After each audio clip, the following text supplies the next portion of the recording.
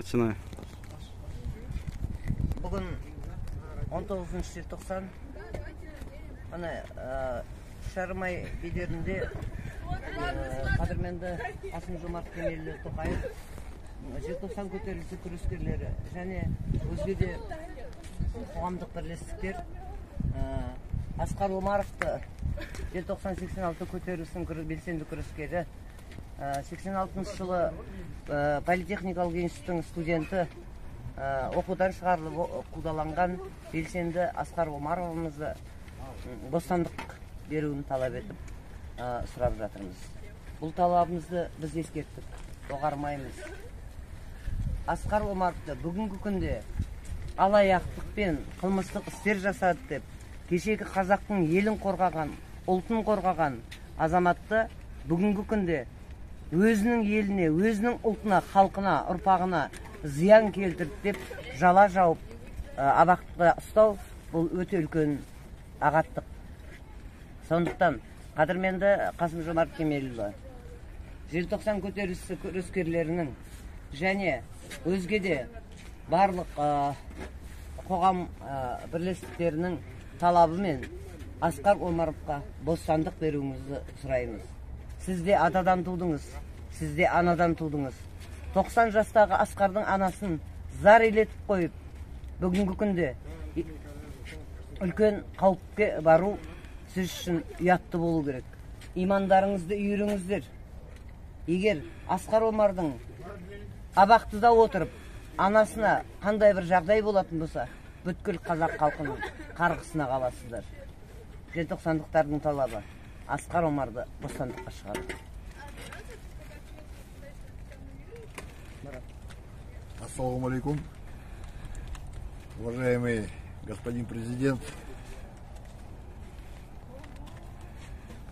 Кашмар Кемелович Тукаев, я обращаюсь к вам лично, как ветеран вооруженных сил Республики Казахстан, как ветеран боевых действий на таджико-афганской границе, с просьбой поддержать наших желтосановцев в освобождении уважаемого нашего героя Аскара Умара, который в свое время в 1986 году вышел, не побоясь, против советского режима, отставил интересы простого народа, нашего независимого Казахстана.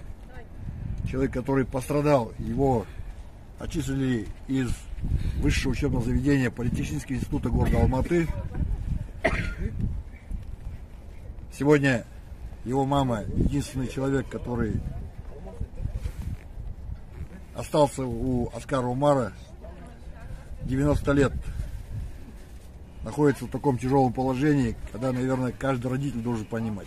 Вы сами являетесь родителем своих детей, господин президент. Вы сами должны понимать, что человек в 90-летнем возрасте может в любой момент умереть, и сын даже не может находиться рядом в такую тяжелую минуту, когда человек болеет.